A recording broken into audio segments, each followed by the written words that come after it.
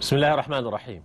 المشاهدون الأعزاء في كل مكان السلام عليكم ورحمة الله تعالى وبركاته. أسعد الله أوقاتكم بكل خير. هذا هو موعد وتوقيت اللقاء بيننا وبينكم دائما عبر شاشة فضائية الخرطوم وحلقة جديدة من الراهن السياسي. الراهن السياسي لهذا اليوم نتحدث عن دور القوات المسلحة في حماية وصوت أرضنا الحبيب السودان. نحن جند الله جند الوطن. إن دعا داعي الفداء لن نخن نتحدى الموت عند المحن. هي كلمات نشيد علمنا الوطني السوداني وقد حملتها القوات المسلحة قوات الشعب المسلحة حفظا وصونا لتراب وطننا الحبيب على مر العصور والأيام والسنوات. تجابه وتقاتل الآن في حدودنا الشرقية. حفظا وصونا لتراب شعبنا الحبيب. نسعد من خلال الراهن السياسي اليوم أن يكون معي داخل الأستوديو سعادة اللواء ركن معاش دكتور محمد خليل الصايم أستاذ العلاقات الدولية والدراسات الاستراتيجية. مرحبا بك سعادة اللواء عبر شاشة فضائية الخرطوم. مرحبا بكم ومرحب بقناة الخرطوم شاشة قناة الخرطوم وشاشة قناة ولاية الخرطوم. وشكرا جزيلا على الاستضافة. كتر خيركم. أيضا نرحب بالأستاذ عبد الحفيظ محمد أحمد نائب رئيس حركة العدل والمساواة وأمين إقليم الخرطوم. مرحبا بك عبر فضائية الخرطوم مرحبا يعني بسم الله الرحمن الرحيم نرحب حقيقة جدا في هذه الحلقة الهامة جدا في حياة أمتنا أمة السودان التي يعني يعلم عنها القاصي والداني. هي أمة عظيمة ضاربة جذورها في التاريخ كله. نحن أحفاد كوش. والقوات المسلحة السودانية هي خرجت من صميم هذه المأثرة التاريخية العظيمة. مرحبا بكم إخواني الكرام في قناة الخرطوم. نعم أيضا نسعد أن نرحب بالأستاذ مبارك النور رئيس تجمع شرق السودان والقيادي بمنطقة الفشقة. مرحبا بك. مرحبا بك ومرحبا بكل المشاهدين في كافة ربوع السودان وتحية خاصة لأهلنا بالفشقة والمرابطين من القوات المسلحة الثور نعم اليوم الراهن السياسي مع قوات الشعب المسلحة في شرق السودان خاصة وفي كل بقعة من بقاع وطننا الحبيب. نسعد أن نلتقي والراهن السياسي وأيضا نبارك للقوات المسلحة استرداد الأراضي السودانية وخاصة الأراضي الزراعية. أكثر من 2500 فدان استردتها القوات المسلحة من المعتدين في حدودنا الشرقية. بداية أستاذ مبارك النور وسعادة اللواء ركن دكتور محمد خليل الصايم. نتحدث عن خلفية تاريخية عن منطقة الفشقة كل المشاهدين والمواطنين والمستمعين والمتابعين داخل وخارج ربوع وطننا الحبيب بيسمعوا عن الفشقة الصغرى الفشقة الكبرى. يا ريت لو فذلكة تاريخية عن هذه المنطقة. نبدأ بك مبارك. آه طيب آه في البداية آه نترحم على أرواح شهدائنا من القوات المسلحة في الثغور و كامل الشفاء للجرحى وتحية خاصة لأفراد القوات المسلحة الذين حرروا مناطق كبيرة جدا في منطقة الفشقة الكبرى ومنطقة الفشقة الصغرى. نعم. ونحن منطقة الفشقة حقيقة هي منطقة كبيرة منطقة جغرافية كبيرة مم. منطقة الفشقة الكبرى منطقة شبه جزيرة تقع بين ثلاثة أنهر بين نهر سيتيت من الشرق للغرب وبين نهر بأسلام. من الشرق للغرب وبين نهر عطبرة من الناحية الغربية. نعم. من ناحية إثيوبيا مفتوحة ما فيها نهر. دي الفشقة الكبرى. الفشقة الصغرى أيضا تقع بين نهر العطبراوي ونهر باسلام أيضا من الشرق للغرب باسلام من الشمال من الجنوب للشمال العطبراوي حقيقة منطقة الفشقة منطقة كبيرة ومنطقة هي الآن محلية الفشقة راستها مدينة الشواك بالقرب من الطريق القومي في طريق كسل القضارف ومنطقة الفشقة منطقة زراعية منطقة خصبة جدا. منطقة من المناطق المنتجة لمحاصيل السمسم والذرة عباد الشمس وكثير من المحاصيل البستانية. نعم. نعم. سعادة اللواء. طيب أنا أتكلم عن التاريخ السياسي للفشقة. آه الفشقة النزاع ده استمر على مدى 130 عام بينه وبين أثيوبيا. 1898 بعد حرب الخليفة عبد الله التعايشي مع مملك الثاني. آه طلب إنه يتنازلوا له من بني شنغول. نعم. آه الخليفة رفض لكن بعد آه، سقوط دولة المهدية ملك الثاني عقد اتفاقية 1902 مع حكومة السودان اللي هي متمثلة في المستعمر. نعم. 1902 آه، عشان يتنازل لهم من بني شنغول. مقابل لا تقيم أثيوبيا أي منشأة مائية على بحيرة تانا أو نهر أباي اللي هو النيل الأزرق عندنا. نعم. وهذه الاتفاقية سارية المفعول. وهذه الاتفاقية اسمها اتفاقية ترسيم الحدود. يعني أنا هسه اللي بستغرب له يقول لك ترسيم الحدود. الحدود مرسمة من 1902 موجودة هذه الاتفاقية في الأضابير في إنجلترا وسارية المفعول حتى الآن. هذه الاتفاقية ورت حدود السودان بني شنغول خارج حدود السودان. الإنجليز وافقوا على إعطائهم بني شنغول عشان يزرعوا فيها أرض منبسطة نسبيا. آه، مقابل أن تعدن الامتياز يكون تعدين الذهب للشركات الإنجليزية. نعم. طيب الحدود مرسمة. مم.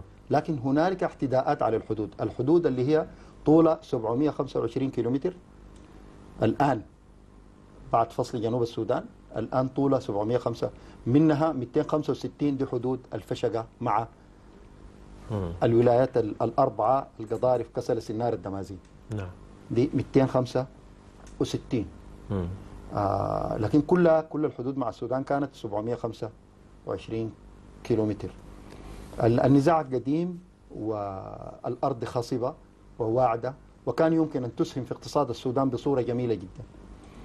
لكن النزاعات دي قديمة جدا جدا. آه تم التهاون زي ما أنت قلت تم التفريط في أرض السودان في ذلك العهد البقيض الذي يسمى الإنغاز.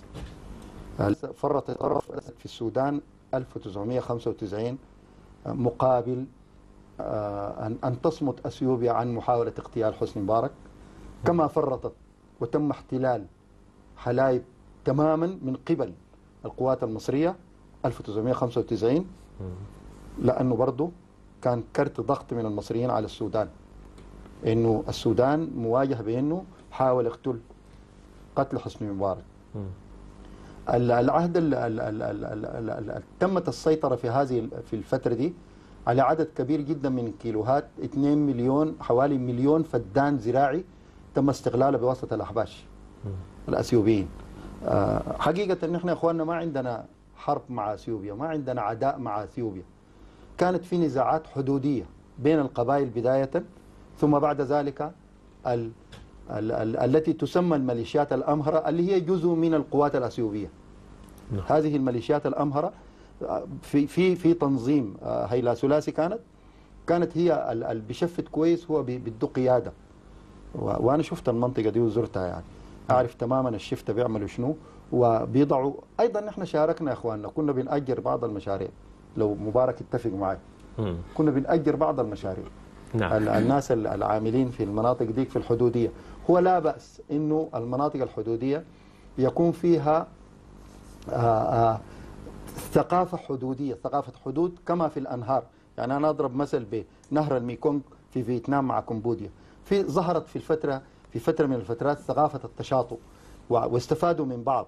why not إنه نحن نستفيد من بعض نحن والحدود مع أثيوبيا طالما عندنا معها عداء الناس تشارك ب ب جزء من يشاركوا في الحصاد ويدون جزء من المحصول بالسعر زي ما هم بدونا كهرباء بالسعر الآن. بدونا كهرباء من سد تكزي بالسعر. why not إنه وأنا قلت الكلام ده قبل كده في عدد من الحلقات إنه يكون في تكامل اقتصادي بين أثيوبيا ومصر والسودان اللي هي حوض النيل الشرقي. نعم. نعم. أيضا آه، يعني آخر الأخبار للسيد عبد الحفيظ محمد أحمد نائب رئيس حركة العدل والمساواة. أمين إقليم الخرطوم. أعلنت القوات المسلحة أنها تقوم بأدوارها كاملة آه، في تأمين الحدود الشرقية للبلاد مع أثيوبيا دون أي نوايا عدوانية أو السعي للتصعيد وده تأكيد لكلام آه، سعادة اللواء محمد خليل الصايم حيث قال اللواء ركن محمد أحمد صبير نائب رئيس هيئة الاستخبارات في تصريحات اليوم أن القوات المسلحة تتحرك داخل حدود البلاد وقد أوضح أن نحو 2 مليون ونصف المليون فدان تم استردادها إلى حضن الوطن. و2 مليون نصف المليون فدان هي أراضي زراعية. أيضا كانت لحركة العدل والمساواة من خلال السيد رئيس الحركة دكتور جبريل إبراهيم في زيارة لدعم القوات المسلحة ولدعم آه، هموم كافة السودانيين لاسترداد أراضيهم.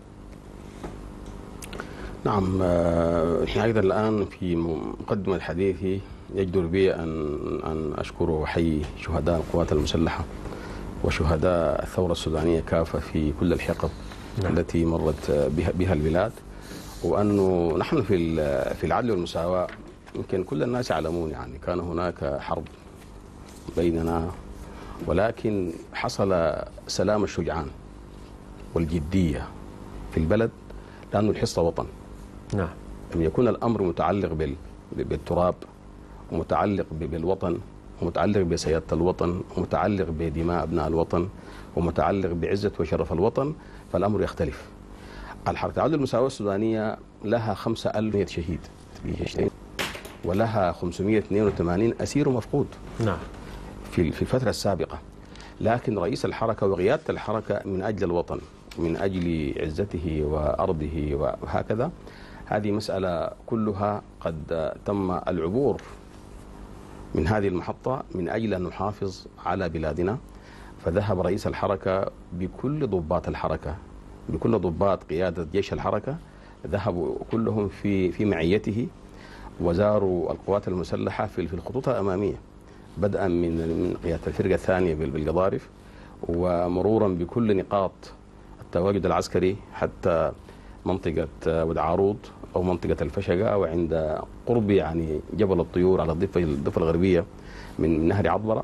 والرئيس قد زار كل رئيس الحركة زار كل هذه المواقع ووضع يده في أيدي إخوانه من القوات المسلحة. وهذا هو اختبار أول لصدقية السلام. وصدقية قناعة الحركة بأمر السلام.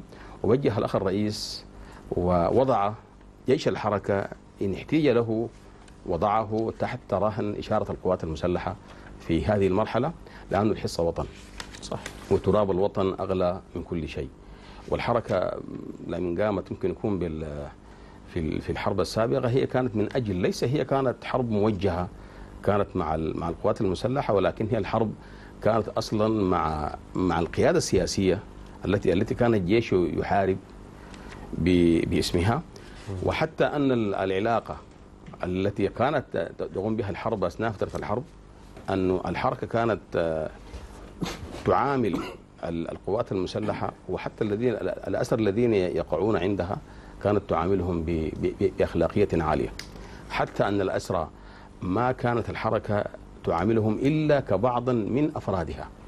وحتى الأسرى الضباط كانوا يعاملون كضباط في القوات المسلحة لأنه المسألة يعني مسألة وطن والقضية قضية أخلاق. في في المقام الأول. واليوم ذهاب الرئيس آه، بقواته وبقادة جيشه إلى الثغور الأمامية وضع يده في يد القوات المسلحة.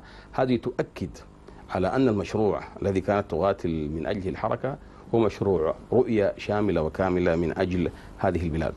وأن النظام السياسي السوداني الذي حكم البلاد 64 سنة بمحاوره الثلاث محور الوسط محور اليسار ومحور اليمين ال- ال- النظام السياسي السوداني السابق حكم البلد 64 سنة. نعم. 52 سنة حكم عسكري و11 سنة حكم مدني. والمتبع إلى إلى تاريخ ال- ال- الحكم السياسي في السودان يستجلي هذا هذا الأمر تماما. ال- الانقلاب العسكري الأول اللي كان في 59 كان من من- الوسط بأحزابه التي تمثله. والانقلاب الثاني في في خمسة في في 69 25 مايو كان من من من قبائل اليسار من الحزب الشيوعي والقوميين العرب وغيرهم. والانقلاب الثالث كان في 89 من الجبهة الإسلامية القومية والأخوان المسلمين والحركة الإسلامية. اذا انه المحاور الثلاث للنظام السياسي السوداني هي شاركت في حكم البلاد عسكريا ودفع الجيش السوداني والقوات المسلحة هي التي دفعت صراحة الفاتورة دماء واشلاء وعرقا وتيتما وترملا في في كل أبنائها في تلك الفترة. ولكن الفشل السياسي الفشل السياسي الذي جعل النظام السياسي السوداني السابق أو أم نسميه ال- النادي السياسي القديم فشل في إدارة النهضة فشل في إدارة السلام فشل في إدارة التنوع فشل في إدارة الحفاظ على تراب الوطن وذهب الجنوب من من من إخفاقات النخب. السياسية فلذلك نحن الآن بصدد أمر جديد والحركة تطرح ال- ال- الفهم الجديد من أجل بناء وطن ليس فيه يعني محاكات ولا صراعات ولكن نعبر هذه المرحلة. الحركة الآن تقدم درس أنها قد عبرت محطة خم يعني 5300 شهيد و582 مفقود وأسير من أجل ماذا؟ من أجل أن نبني وطن. وأن أن ننهض بهذه البلاد. فهذه رسالة نقدمها لنا ولغيرنا ولكل الناس في لابد أن أن أن نعبر بجراحاتنا من جراحاتنا. ومثلنا السوداني يقول الفشة بنته خرب مدينته خير مدينته نعم. أيضا أستاذ مبارك النور وأنت قيادي منطقة الفشقة. طوال هذه الأعوام يعني كيف كان حال ال- حال المواطنين والأهل في منطقة الفشقة الكبرى والصغرى؟ يعني تذهب آه، في كل مكان لا تجد أراضيك لا تجد آه، مزرعتك لا تجد مكان تأوي آه، فيه. طيب حقيقة أسمح لي أن أتحدث عن تاريخ التوغل نعم. الأثيوبي داخل أراضي الفشقة آه، هذا التوغل بدأ في العام 1957 مم. كانوا ثلاثة مزارعين أثيوبيين. في 3800 فدان. 67 كانوا 13 مزارع أثيوبي بعد عشر سنوات. نعم. في أكثر من 20 ألف فدان. كم 80 كانوا 53 أثيوبي في 84500 فدان. 91 لغاية 91 كانوا 84 53 أثيوبي في 44500 فدان. من 91 لغاية 2014 كانوا 1659 أثيوبي مزارع. في مساحة 840 ألف فدان من 2014 إلى 2020 زاد التوغل فاق العدد للأثيوبيين المزارعين 2 ألف مزارع وقارب وقاربت المساحة التي يتوغلون فيها ويحتلونها 2 مليون فدان في الفشقة الكبرى تقريبا 330 ألف فدان يستغلوها الأثيوبيين. في الفشقة الصغرى كانوا يستغلوها بالكامل 500 ألف فدان. في صعيد القضاري في حدود هناك مع جبل حلاوة اللي هي في داخل حظيرة الدندر 50 ألف فدان وأكثر من 700 ألف فدان أيضا في بعض المناطق. مم. الإجمالي يقارب ال 2 مليون فدان الشيء المؤسف كل الحكومات التي تعاقبت على السودان منذ ذلك التاريخ كانت متواطئة. في قضية الفشلة والأثيوبيين كانوا يتوغلون سنويا خاصة في عهد الإنقاذ سنويا كانوا يتوغلون كل خريف. وكانوا يقتلون المزارعين وينهبون ممتلكاتهم و و ويصادرون ممتلكاتهم و وكانوا آه، يرهبونهم. حتى السيد اللواء قال المزارعين السودانيين يؤجرون. الأراضي للأثيوبيين. لماذا يؤجرون؟ يؤجرون الأراضي لل- للأثيوبيين لأنه الأمن معدوم في المنطقة. لا يوجد جيش كافي ولا شرطة كافية ولا أمن كافي في, تل في, في تلك الفترة. عشان كده المزارع إما يقتل وتنهب ممتلكاته مم. وتحتل أرضه أو يؤجر. فكانوا يؤجرون آه، بطريقة يعني معلومة للحكومة وبعلم الحكومة. حتى الأيار بيتم بعلم الحكومة. وبشهادة المستشار القانوني للحكومة وبمواثيق واضحة جدا بين الأثيوبيين والحكومة السودانية أنهم يسوقوا محصولاتهم في ولاية القطارف. نعم. عشان كده المسألة فيها تواطؤ من الحكومات في إهمال واضح جدا من الحكومات المنطقة مهمشة تنمية في الشريط الحدودي ما موجودة إطلاقا. الآن ه- تلك المناطق فيها قرى قابلة قانونية ما في. أنا مشيت زرت لي قرية في الحدود قالوا لي إحنا قابلة ما عندنا. مم. قابلة قانونية ما موجودة. موية يشربوها ما في. طرق يمشوا بها ما في. صحة ما في. تعليم ما في. طرق ما في. الفشقات ديل ما في كباري. الآن نحن عشان نقطع نزرع في مناطق الفشقة دي بنقطع بالمعدية والبنطون. فإهمال واضح جدا للفشقة دخل الأثيوبيين يطمعوا في الأرض لأن الحكومات غير جادة في استرداد الأراضي. الآن نحن نحيي القوات المسلحة. نعم. اهتمام واضح جدا بقضية الفشقة. استرجاع الأراضي المغتصبة. اهتمام بالحدود. نحن نشعر الآن القضية أصبحت قضية مهمة جدا لدى القوات المسلحة. القوات المسلحة الآن تتقدم في عدة محاور تتقدم بقوة وبدعم كبير جدا من المواطنين. الآن مواطنين في القضاء منتشين فرحين يهللون في الطرقات. عندما يشوفوا عربية للجيش يخرجوا في الطرقات يهللون ويكبرون ويدعمون عدد من القوافل من القبائل. عدد من القوافل من الأحزاب السياسية والكيانات عدد من القوافل من المزارعين أنفسهم عدد من القوافل من ال من ال من التجار عدد من القوافل من كل أرجاء السودان. تدافع كل أهل السودان للوقوف خلف الجيش. وده خلانا نحن نقود مبادرة لدعم الجيش سميناها مبادرة المبادرة الشعبية لدعم الجيش لتحرير الفشقة. وأتت أكلها وعندما تطورت وأصبحت كبيرة قررنا أن تكون مبادرة قومية سميناها المبادرة القومية لدعم الجيش. الآن سندشنها غدا غدا في طيبة بريس الساعة واحدة ظهرا.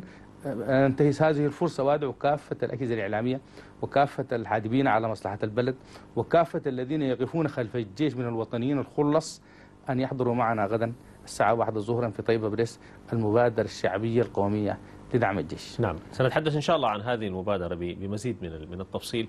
أستاذ مبارك النور سعادة اللواء ركنا معالي الدكتور محمد خليل الصايم. الحديث الآن عن الجيش السوداني حامل الوطن وقد تفاعلت معه جميع شرائح المجتمع دون استثناء. سياسيين أحزاب شركاء السلام يعني كل ال- الأحزاب في معركته من أجل سد الثغور وحماية ال- الحدود. جهود كبيرة بيبذل الجيش السوداني الآن في السيطرة على أكثر من 90% من منطقة الفشقة الكبرى والصغرى ويمكن لأول مرة في تاريخ يعني هذه المنطقة يتم دحر الميليشيات والتي هي جزء يعني من من الجيش. لكن كما ذكرت ونؤكد أنه ليس هناك أي عداوة ما بيننا وما بين الجارة أثيوبيا. طيب طالما انه الحديث عن القوات المسلحة وأنا من هذه القبيلة القوات المسلحة أو قوات الشعب المسلحة كما يحلو للأخ عبد الحفيظ إنه نعم. يسميها قوات الشعب المسلحة لانها هي شريحة من شرائح الشعب. الشعب السوداني. نعم. هي قوات الشعب المسلح حقيقة. ويجب آه، أن لا يكون يعني الحديث عنها بشيء من تقليل من قدرها آه، تعرضت في الفترة السابقة لهجمة قوية جدا جدا من عدد من الشرائح قد يكون لأشياء حدثت في الفترة السابقة فض الاعتصام وخلافه والتعامل مع الشعب السوداني في الفترة اللي فاتت لكن ده برضو ما بيمنع إنه كل الشعب السوداني يصطف ويقف صفا واحدا مع القوات المسلحة. مم. القوات المسلحة ليست فرد، القوات المسلحة آه، هي شريحة من شرائح الشعب السوداني وهي مؤسسة عريقة يجب الناس تدعمها في هذه الفترة لأنه ال- الحكم البقيض اللي استمر 30 سنة هو الأساء للقوات المسلحة. نعم. هو الأساء للسودان باقتطاع جزء من أراضيه. فصل جنوب السودان كان حاجة مرة جدا على كل السودانيين. ال- الفشقة واحتلال من وتقاضي النظر عنها من قبل الحكومة كانت حاجة سيئة جدا. أيضا حلايب وشلاتين وخلافة آه، عند المصريين. و, و, و يعني سبحان الله إن المصريين بيحاولوا يشعلوا في فتيل الحرب. بين السودان وأثيوبيا. يعني يعني أنت محتل محتل السودان يا وزير الخارجية المصري وتطلع بيان تقول أنا مع السودان صف واحد، صف واحد وين في شنو؟ آه كلام ما ما ما عقلاني. آه أنا أرجو إنه يغيروا نظرته للسودان، السودان الآن بينهض، السودان الآن آه حيحدث فيه تغيير كبير جدا. أنا متفائل جدا إنه يحدث فيه تغيير. آه هذا التغيير قد يؤدي ل ل يعني إعادة بناء أنا ما بقول هيكلة، إعادة بناء القوات المسلحة بصورة تتواكب والعصر. وده شيء يجب الناس تخطه في الحسبان وده ما بيجي إلا بتضافر كل الجهود جهود الشعب السوداني مع قواته المسلحة. نعم. أيضا يعني أدوار عظيمة للقوات المسلحة عبر التاريخ في صد العدوان على على أرض ال- الوطن الحبيب. وده الحاجة اللي بتاكده الآن الأدوار اللي بتقوم بها القوات المسلحة في منطقة ال- الفشقة. والأحاديث من كافة قيادات القوات المسلحة ومتابعتهم. نبدأ يعني هذه المتابعة وتفاعل كافة شرائح المجتمع والتي جاءت من قبل يعني رئاسة الدولة الآن السيد رئيس مجلس السيادة الانتقالي. يعني كان أول من زار الحدود الشرقية وكان هناك لمدة ثلاثة أيام. نعم. حقيقة القوات المسلحة الناس يعني يجب أن تعرف مهام القوات المسلحة شنو. القوات المسلحة ما مصانع صابون بتطلع صابون ولا مصانع زيت. القوات المسلحة تبسط الأمن القومي السوداني وتدافع عن الثغور والحدود بدون أمن وطني مستتب. لا لا لا يمكن أن يكون هنالك استقرار في البلد. لا يمكن أن تضع استراتيجية عشان تنهض بها بالبلاد. الاستراتيجية والأمن القومي محتاجات لبعض.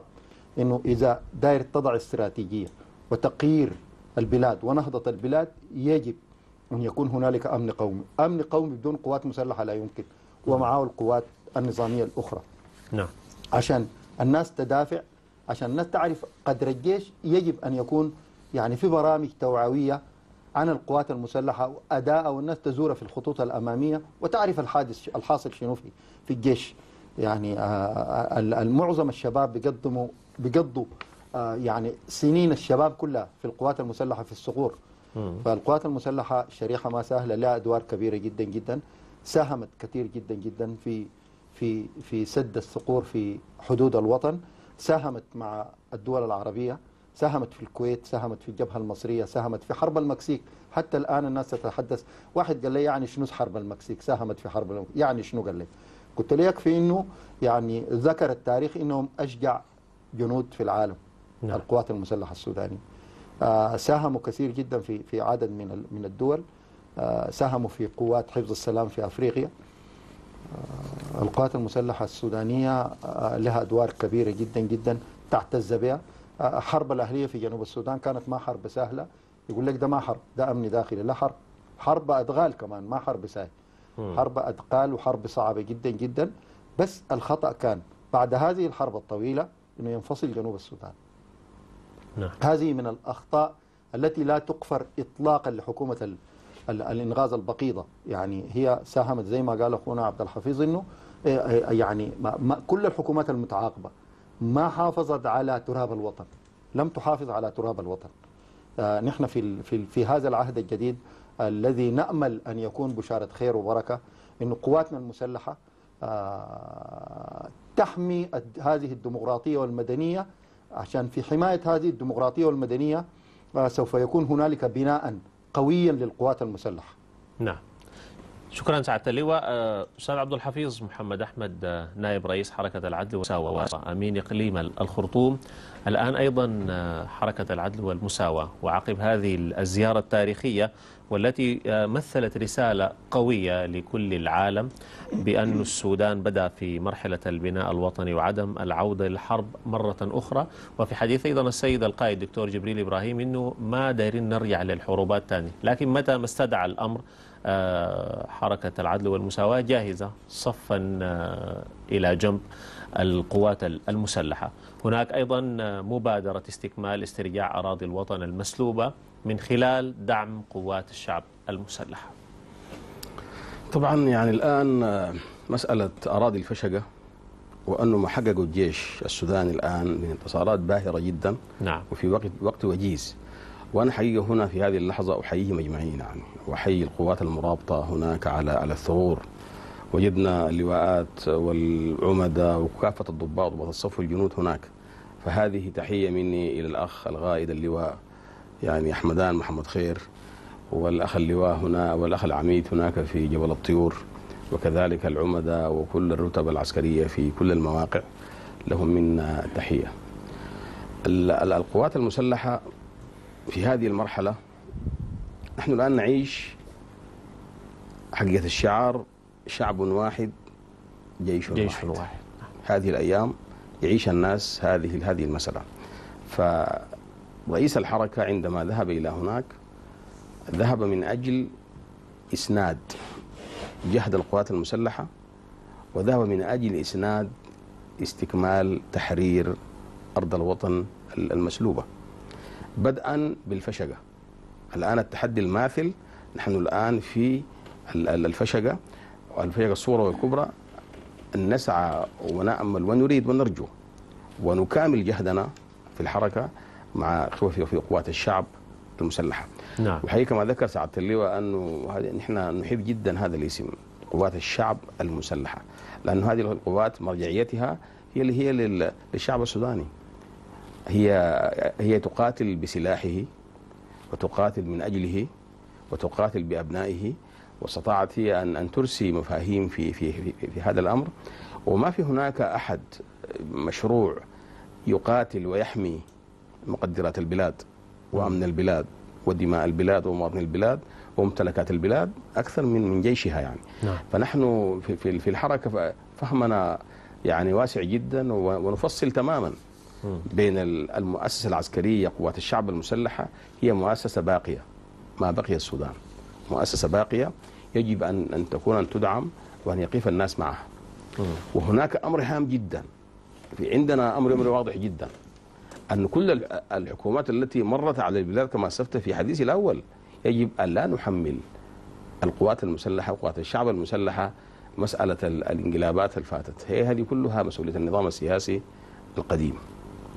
القوات المسلحة دفعت الإخفاق السياسي مهرا من دمائها وأبنائها وعرقها نعلم ذلك تماما. ونتحدث في أنه أنه الدولة السودانية معطوبة. والفكر السياسي معطوب. فلذلك أنه الحركة قامت من أجل إصلاح هذا هذا العطب وإصلاح هذا هذا الإعوجاج. ليس اعوجاجا عسكريا. هي قوات آه، تنفذ تعليمات السياسيين يعني. فلا بد أن نفرق بي- بين هذا وذاك. فلذلك أنه يجب أن كل ال- ال- السودانيين ونحن أن نفهم هذا الأمر. نحن الآن بصدد تفصيل الأمور. بصدد بناء الدولة على الصدق. وعلى المكاشفة وعلى الوضوح وعلى الشفافية. نحن ما عملنا شفافية تمارسها الأحزاب السياسية قبل قبل الآخرين. الغريب أنه المجتمع السوداني مجتمع يقوم على الاعتراف بالآخر تماما. ومجتمعنا في كل المواقع يقوم على هذا الأمر. لكن النظام السياسي السوداني لا لا يعترف بهذا. وإذا نظرنا إلى نشاه كل أحزابنا السياسية أنا بتحدث كلام واضح جدا. وان نظرنا إلى كافة أحزابنا السياسية نجدها كأنها لم تنبت من هذه التربة السودانية التي تعترف بالآخر والتي يعني تنظر للآخر وت- وتتكامل مع الآخر.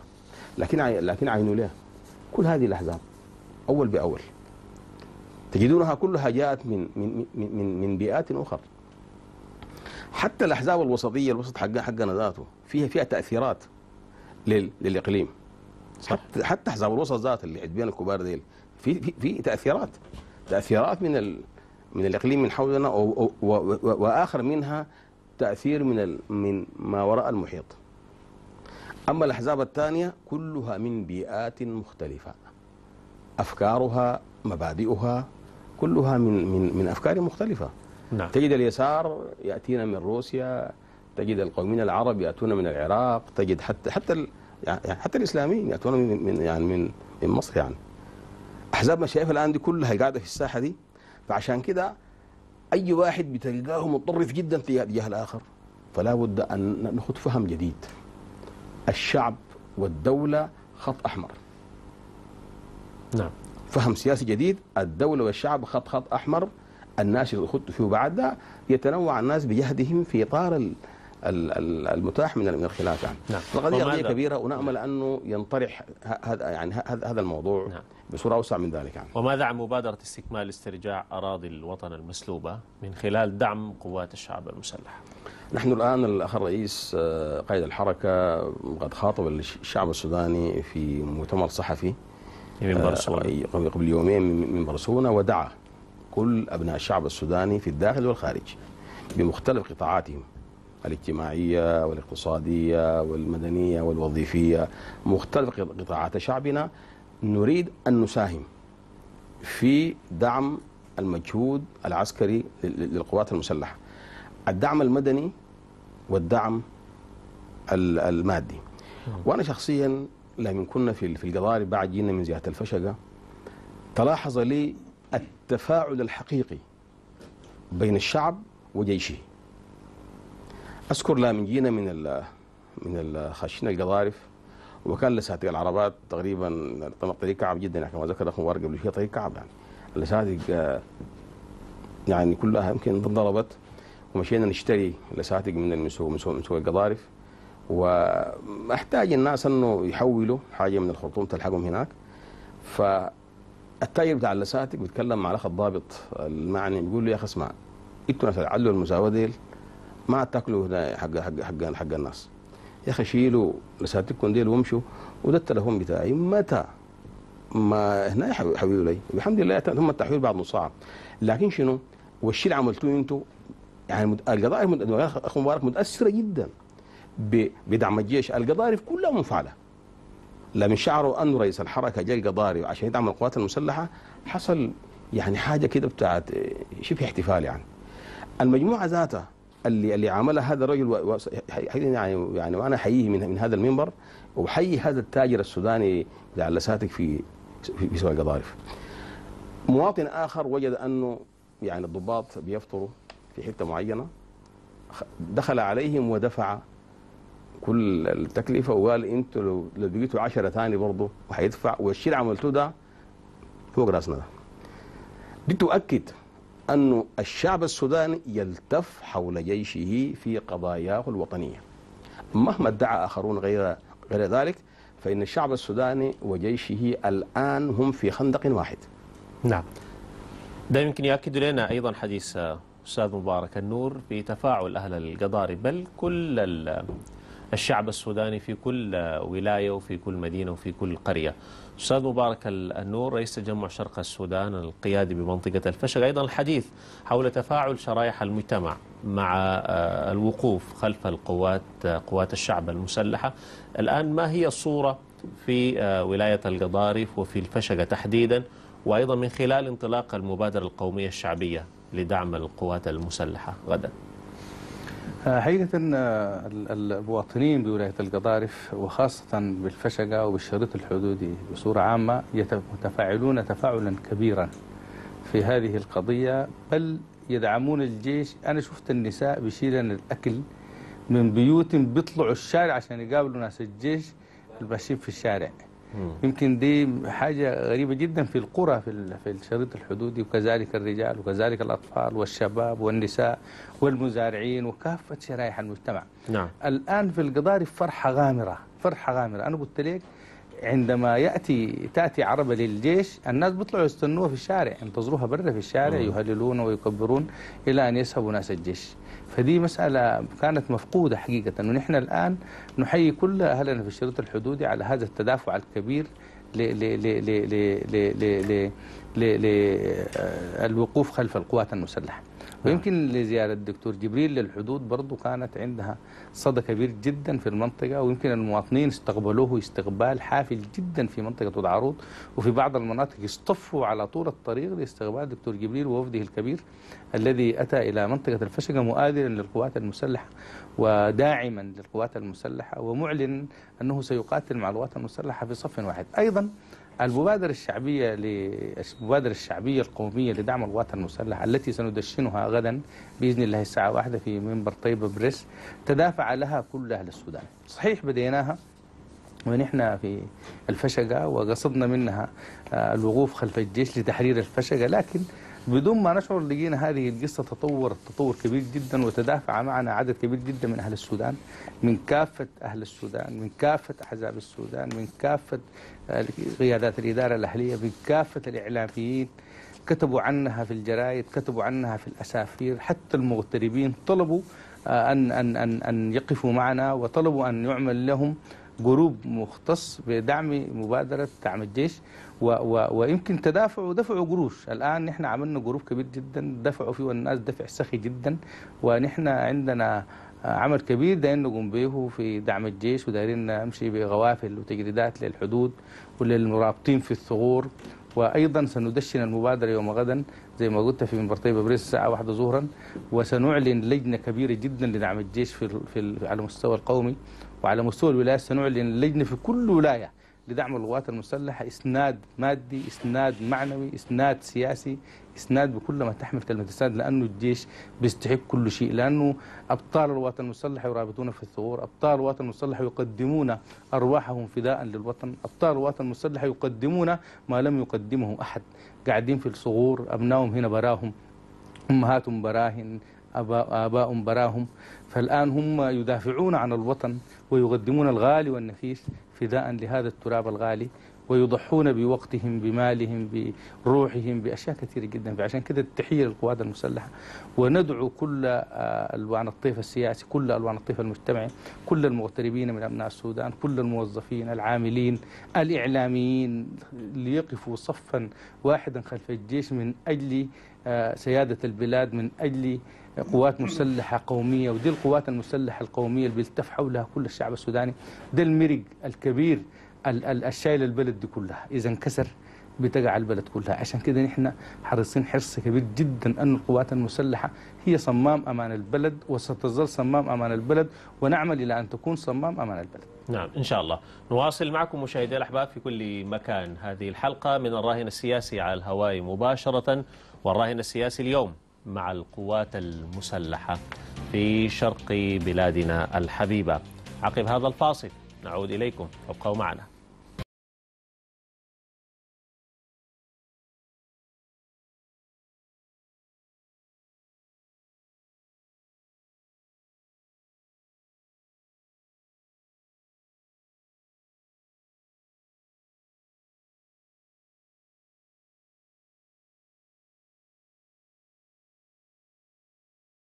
نواصل معكم مشاهدي الأحباب في كل مكان. أيضا نسعد بكل من انضم لمتابعة هذه الحلقة على الهواء مباشرة. الراهن السياسي مع قوات الشعب المسلحة في الحدود الشرقية خاصة وفي كل حدود وبقاع ربوع وطننا الحبيب. تحية لضباط وضباط صف وجنود القوات المسلحة في كل مكان. وهم يحرثون الحدود وأيضا يحافظون على تراب وطننا الحبيب السودان.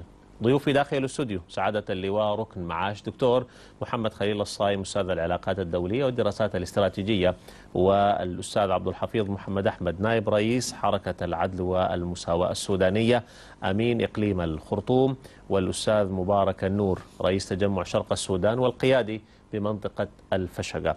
قبل الفاصل عدد من المحاور. حول استرداد القوات المسلحة لأكثر من 2 مليون و500 فدان أراضي آه، زراعية كانت خارج آه، نطاق آه، دولتنا الحبيبة. لكن الحديث الآن حول ثم ماذا بعد هذا الاسترداد؟ وأيضا الحديث حول الاستفادة من تنمية هذه المناطق تنمية حقيقية من خلال إنشاء قرى نموذجية في عمق الفشقة الكبرى والصغرى وأيضا استثمار الوقوف وتفاعل جميع شرائح المجتمع. يمكن عدد من النماذج يعني أنا رصدتها من خلال زيارة السيد رئيس مجلس السيادة إلى جانب أيضا عدد من قيادات الدولة للحدود الشرقية. لكن نبدأ ثم ماذا؟ بعد تحرير جزء يمكن 90% تقريبا من الأراضي في الحدود الشرقية. أنا قبل ما أبدأ يعني عايز أعلق على حديث الأخ عبد الحفيظ في أنه حركة العدل والمساواة اللي هو نائب لها هي قومية في الأصل وأنا سعيد جدا بسماع هذا الحديث لأنه ما يدور في الشارع السوداني خلاف ذلك وسعيد جدا بأنها هي تعمل من أجل الوطن كافة وسعدت أكثر بالتفاف المواطنين والشعب السوداني مع القوات المسلحة وده نحن متابعين يعني الحزب الشيوعي السوداني أصدر بيان الليلة أنه هو خلف القوات المسلحة. نعم. آه الأستاذ سهير عبد الرحيم كتبت كلام جميل جدا. قالت نحن نختلف مع القوات المسلحة. ويش؟ لكن يا أبي أحمد لو في حاجة تمس حدودنا وشرفنا نحن بنقف صف واحد مع القوات المسلحة. ده كلام عظيم جدا يعني. آه ثم ماذا بعد؟ أنا أنا بفتكر إنه آه استكمال عشان عشان القوات المسلحة تستكمل إعادة كل المناطق المغتصبة يجب أن يدعم الشعب السوداني كافة. ونحن شرائح كبيرة جدا من قوات القوات المسلحة في المعاش. مستعدين نضحي بأرواحنا. ضباط وضباط صف. أنا يعني ما بقول الكلام ده ساي لكن أنا أنا متأكد من الجندي السوداني ومتأكد من طباع الجندي السوداني شنو. الليلة إذا حصل نفير لا قدر الله وقامت حرب الجيش السوداني في المعاهد ده كله مستعد أنه يفدي السودان بروحه بأرواحه. أنا بفتكر بعد عشان كده نعيد نكمل مع قواتنا المسلحة إعادة الأراضي المغتصبة سواء في الفشقة الكبرى أو الصغرى أو أي منطقة ثانية محتلة. آه، أيضا عشان نأكد على سيادة السودان على هذه المناطق نأكد على سيادة السودان على هذه المناطق. ندعم القوات المسلحة ونقلل الحديث في الإعلام وفي الأسافير وفي ال social media عن التبخيس والتقليل من قدر القوات المسلحة. القوات المسلحة دي قوات كنا المسلحة الشعب السوداني. ما جات من برا. إذا فيها عيب عيبكم وإذا فيها نجاح نجاحكم. هذه القوات المسلحة قوات الشعب المسلح مارقة من رحم الشعب السوداني. أيضا آه، أنا بفتكر إذا دارين نصلح الحال في هذه المنطقة والحدود ما كبيرة شديد ونعيد انفتاح استراتيجي للقوات المسلحة في هذه المناطق بصورة علمية. وده ما بيتم إلا بإعادة بناء القوات المسلحة بصورة علمية حتى تجابه هذه الحدود الكبيرة سواء كان شرقية أو غربية أو شمالية. آه، أيضا يا أخواننا نحن نستبعد هذه الحرب آه، لأنه نحن بنفتكر الزور المد لنا يده في يوم من الأيام يجب أن نبادله آه، ثقة بثقة. ال- ال- السيد الرئيس أبي أحمد قدم لنا ما لم يقدمه أي رئيس أفريقي. حتى جارنا في الشمال ما قدموا لنا. آه، قدم لنا إنه نحن نتواثق على وثيقة وإن كان معتلة. نتواثق على وثيقة آه، ندير بها الفترة الانتقالية. وده كان نحمد له. عشان كده أنا أنا ب- بفتكر إنه آه، بستبعد الحرب في هذه المنطقة آه، لكن يجب أن نكون مستعدين لهذه الحرب. نبادله نعم ثقة بثقة لكن نقول له أيضا إنه الشفت بتاع إنه ده زحوا حوالينا من أراضينا ينسحب من أراضينا الحدود السودانية مرسمة من 1902 حتى الآن في نقاط بسيطة جدا ما موضوع لها نقاط حدود في هذه المنطقة. لكن معلومة ومعروفة لكل لكل العالم وموجودة هذه الاتفاقية 1902 ترسيم الحدود آه، كافة. رسمت ومعروف حدودنا وين ومعروف حدود الفشقه وين وحدود الاثيوبيين وين. أيضا يعني آه، أنا بفتكر الظروف الجيوسياسية الأخيرة من حرب للتجراي وحرب التجراي وأزمة صد النهضة لا ينفصلان عن هذه الأزمة الحدودية الآن. الحز... الأز... هذه الأزمة الحدودية آم، يعني هي هي أسباب م- من أسباب الأزمة الكبيرة اللي هي صد النهضة وحرب التجراي ما لم آه، يحدث يعني تغيير في مفاوضات سد النهضة وتغيير في حرب التجراي آه، أبي أحمد آه، أنا بفتكر كده إنه سوف لن يتنازل بصورة سريعة لأنه عايز يوصل رسالة لمنه لل- للفاعلين الداخليين لحربه الداخلية إنه أنا قوي. أيضا سد النهضة في تعنت من الجانب الأثيوبي. بالرغم أنه آه، اتفاقية 1902 ملزمة آه، إنها رسمت الحدود بناء على عدم عدم إقامة أي منشأة مائية إلا بموافقة الحكومة السودانية. والكلام ده موجود ومعترف به وهيلا سلاسي 1972 اعترف بهذه الاتفاقية واعترف بالفشقة.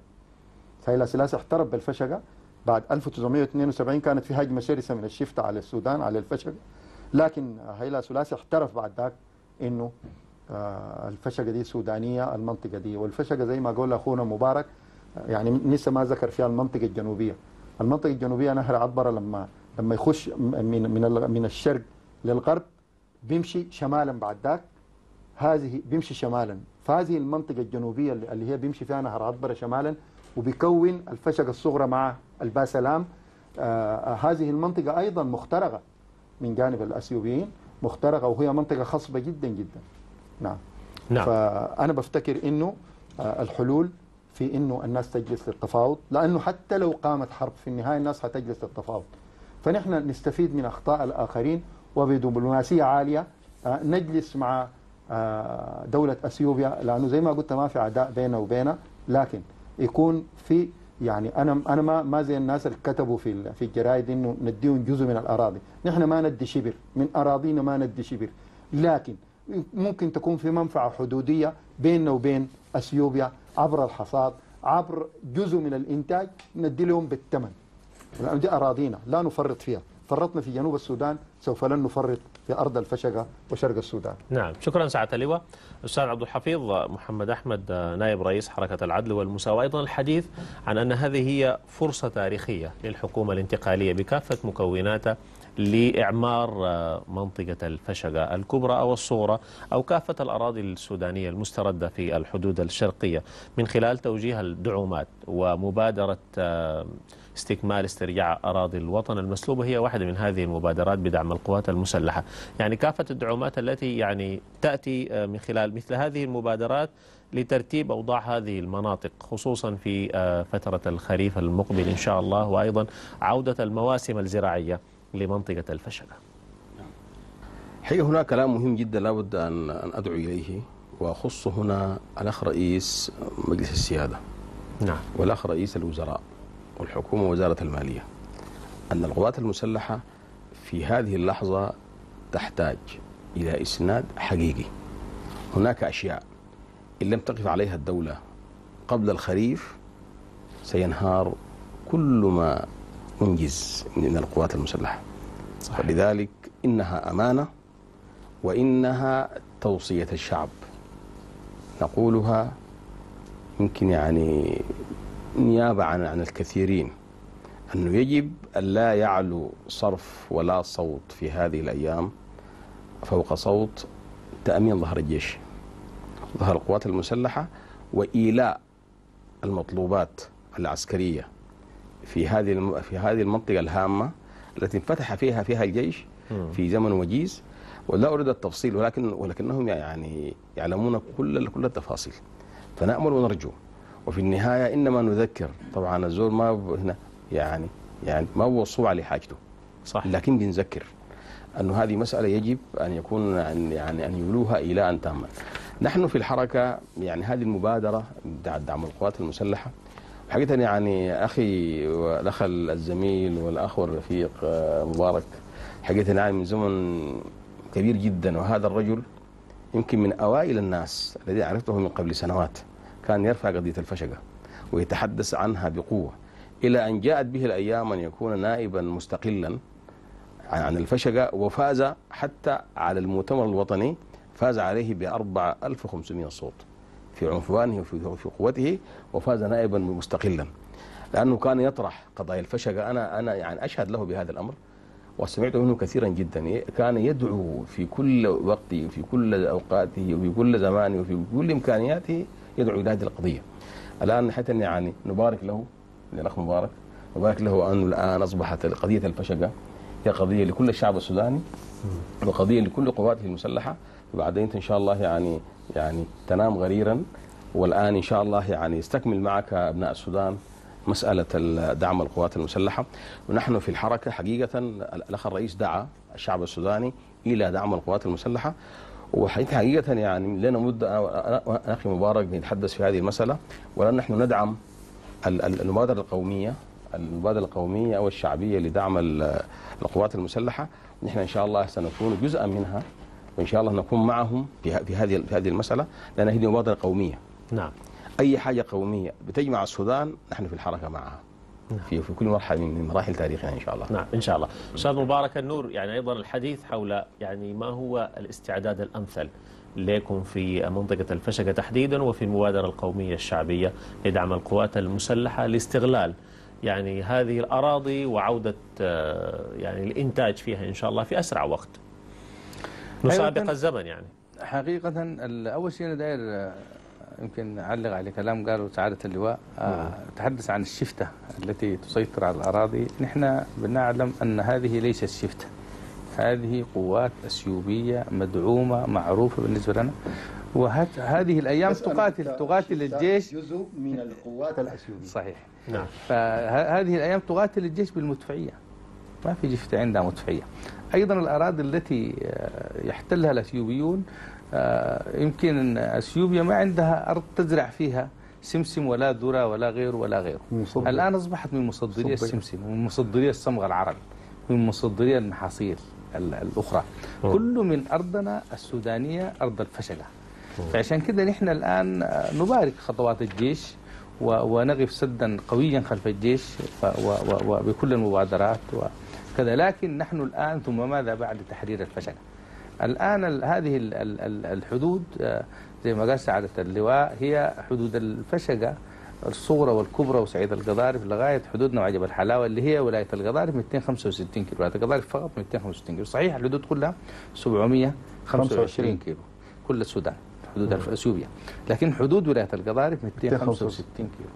اللي هي محددة لإقليمي الأمهر والتجراي ال 265 كيلو دي فيها 15 نقطة ترسيم تبدأ من تقاطع خور الرويان مع نهر- سيتيت شمالا مرورا بالفشقة الكبرى مرورا بالفشقة الصغرى مرورا بصعيد القضارف إلى حدودنا في ولاية مع ولاية سنار هناك جمجم الحلاوه ديك آخر نقطة من نقاط الترسيم المختلف حولها زي ما يقولهم الحدود مرسمة سنة 1902 ومعلمة. بواس- بوا- معلمة بواسطة ال major جوين. والآن الناس يتحدثوا عن ترسيم الحدود. هي ليست ترسيم الحدود هي إعادة ترسيم الحدود أو وضع العلامات. والنقاط غير مختلف حولها لكن الاثيوبيين يطمعوا في أراضينا ويريدوا. أن يتوغلوا في أراضينا. ال ال ال ال نحن الآن ما لم تحدث تنمية حقيقية في الحدود. صحيح سعادة اللواء تحدث عن انفتاح الجيش وهذا تخصص لكن نحن نتحدث عن تنمية في الشريط الحدودي. ما لم تكن هنالك تنمية في الشريط الحدودي تبقى مشكلة. المستوطنات اللي عملوها الاثيوبيين داخل أراضينا قبل ما يطلعون منها بنوها بالثابت بنوها بالمسلح عملوا فيها مغابر عملوا فيها كنائس عملوا فيها باغرات عملوا فيها طرق مسفلتة عملوا عملوا تغيير ديموغرافي كامل للمنطقة. لكن الآن بحمد الله الجيش آه، يعني نحن نحييه. ونحيي قائد الجيش البرهان ونحيي رئيس الأركان ونحيي قائد المنطقة الشرقية وقائد الفرقة والقائد في الغوات في الميدان والعساكر في الميدان. تحية خاصة جدا لجهدهم الكبير الذي أفرح أهل الفشقه وأفرح كل السودان. نحن الآن آه، نتحدث عن المبادرة الشعبية لدعم الجيش. هذه المبادرة مبادرة كبيرة جدا زي ما قلت أنا قبل تفاعل معها كل ألوان الطيف السوداني سواء كان سياسي أو مهني أو غير ذلك. فعشان كده نحن الآن ال- ال- قوة الجيش هي قوة السودان. قوة الجيش هي استرجاع الأراضي المغتصبة للسودان. قوة الجيش هي عزة وفخر لكل سوداني. وأنا أقول أحيي الصحفية سهير عبد الرحيم. صحيح هي كتبت الكلام اللي قاله الأخ اللواء لكن كتبت كلام ثاني. قالت أي إنسان ما يدعم الجيش يتحسس جنسيته. نحن بنقول أي إنسان ما يدعم الجيش يتحسس جنسيته. كلام ده نعم. مقال سابق نعم. لمقال الآخر وهذا يؤكد أنها صحفية وطنية وعدد من الكتاب. مصطفى أبو العزايم كتب كلام جميل جدا في حق الجيش. آه، أحمد الطيب المكابرابي كتب كلام جميل جدا الآن في كل الشعب الجيش. السوداني وعدد. من الكتاب نعم. الراي صحيح. إسناد كبير جدا للقوات المسلحه نعم. أنا شاكر لكم آه، جزيلا. أنا عندي كلمتين أقول. نعم. في نص دقيقة. نص دقيقة عشان عشان نعيد انفتاح استراتيجي للقوات المسلحة في الحدود. يجب أن يتبعوا رصف طرق. المنطقة دي صعبة جدا في الخريف. صحيح. وعمل كباري و- و- وعدد. وعمل كباري وقيرة وقرى نموذجية بدل الكنابي والكجيك والدقيقة الناشفة نعم. شكرا جزيلا. سعادة اللواء ركنا مع الدكتور الكباري دي عليك. الله تقول لنا ثاني عشان إخواننا. في القوات المسلحة وإخواننا في مجلس السيادة وفي مجلس الوزراء وإخواننا الشعب السوداني كله حاليا إنه يساهم في بناء الكباري بتاعت بعدين نعم. أنا شاكر. لو سمحت لي رصف الطرق ده هيعيد. منطقة الفشقة للسودان اقتصاديا حتساهم مساهمة كبيرة حتوقف صحيح. لأنها حتوقف منطقة غنية نعم. حتوقف تجارة ال- التهريب وحتوقف تجارة البشر. والأسلحة أيضا. أي. أنا شاكر لك جدا سعادة اللواء ركن معي الدكتور محمد خليل الصايم أستاذ العلاقات الدولية والدراسات الاستراتيجية لحضورك. وأيضا شاكر لك جدا الأستاذ عبد الحفيظ محمد أحمد نائب رئيس حركة العدل والمساواة السودانية أمين إقليم الخرطوم. وأيضا يعني من خلال مبادرة استكمال استرجاع أراضي الوطن المسلوبة بدعم قوات الشعب المسلحة. شكرا جزيلا أستاذ مبارك النور رئيس تجمع شرق السودان القيادي بمنطقة الفشقة.